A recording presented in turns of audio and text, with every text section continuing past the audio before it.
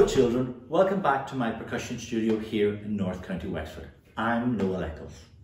On my last programme, I explained to you the difference between pitched and unpitched percussion instruments. Pitched instruments are instruments that give you a definite musical note, and an unpitched instrument would be something like a tambourine.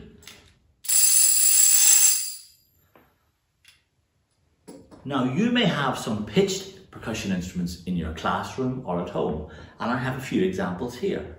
You might have some chime bars. Or you might have some of these little hand bells.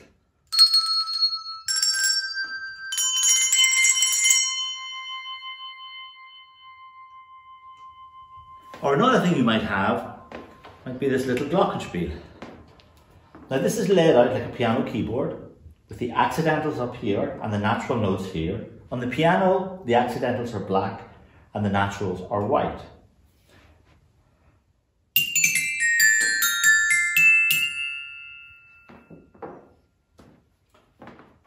Now let's have a look at a professional glockenspiel.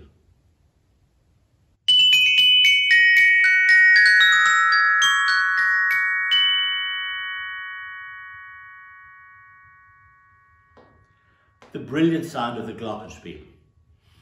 It's made from metal and as the bars get bigger, the notes get lower. Now you can hear this instrument played with two sticks at the same time. If I do this.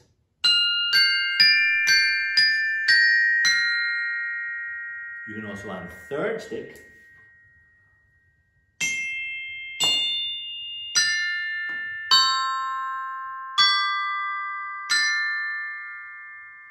fourth stick.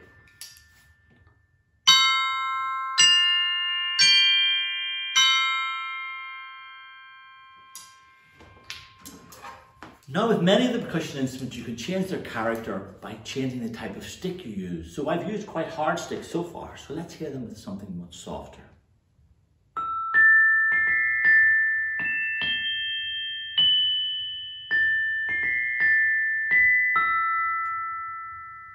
So it changes the character. Now another metal percussion instrument, or tuned instrument, is the vibraphone. Let's have a look at that.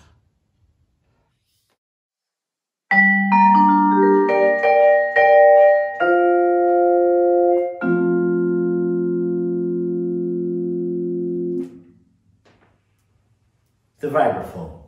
And like the glockenspiel, the bars are made from metal. Small bars at the top, and as we get lower in pitch, the bars get much bigger. Now, one of the differences between the glockenspiel and the vibraphone is this vibraphone has resonators here at the front and underneath the natural notes. And these resonators act as an amplifier for the notes. The sound goes down the tube and it makes it louder. I also have a pedal on the instrument that allows me to let the notes ring or to stop them or damp them as we say. So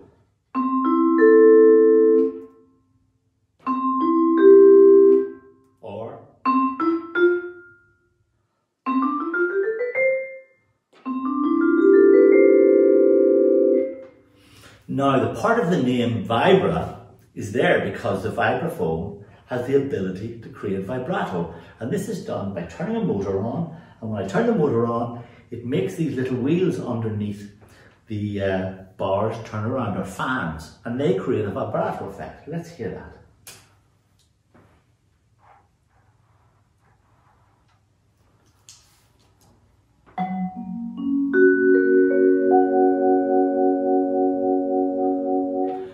Speed that vibrato up.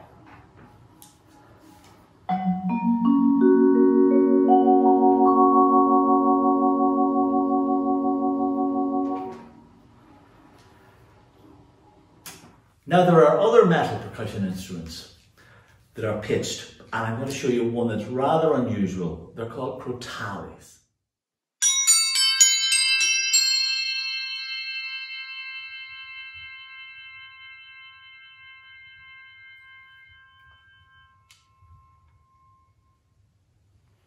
The crotales. They are tuned metal discs laid out the same way as the piano keyboard is with the white notes here and the black notes at the back. Now they are very brilliant and they will ring on for a long time, but sometimes we're asked to play them with something unusual. Now, This is a double bass bow. The double bass is the biggest string instrument in the string family. And the players pull the bow across the string and that creates friction and that makes the note sound. Well, we can create the friction on the crotales using the double bass bow.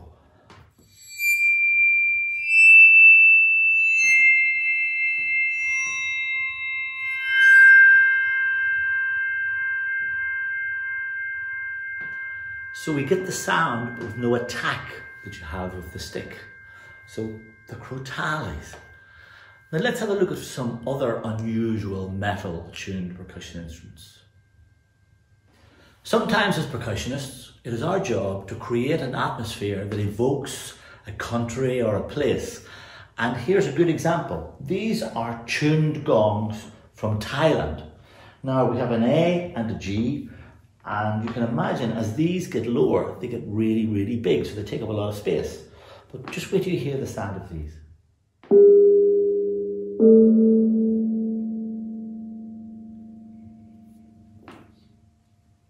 give a real Eastern feel.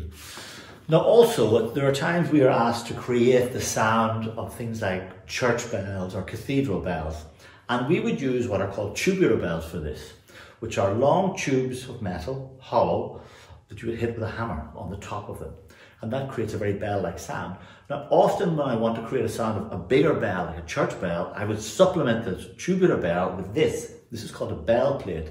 It's a tuned aluminium plate. Now just imagine this sounding as a church bell does.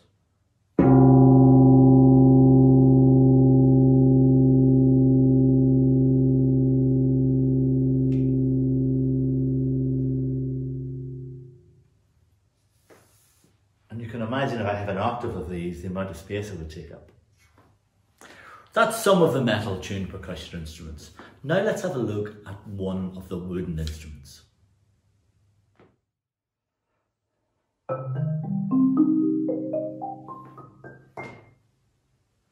The marimba. You can hear it's quite rich sounding. Now the marimba is part of the wooden percussion instrument tune family. At the top of that you have the xylophone, then we have the xylorimba, which is, encompasses the range of the xylophone and part of the marimba. Then you have the marimba and you have the bass marimba. Now, like the vibraphone, we have resonators under the bars. But there is no fan in these, so we don't have the vibrato effect like you have in the vibraphone. But let's hear the difference when I block off the resonator and then when I open it again.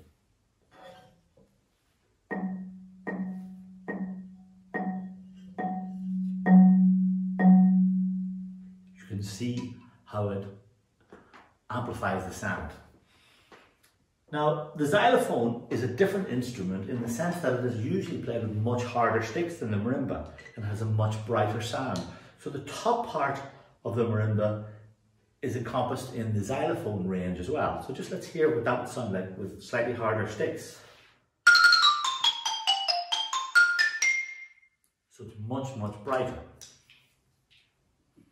Now all of the wooden percussion instruments can be a family on their own as can all the tuned percussion instruments. Really, we can play them together. So I'm going to put a little piece together, a little percussion orchestra. Now I'm going to have some help from some of the unpitched instruments as well. So see what you think of this.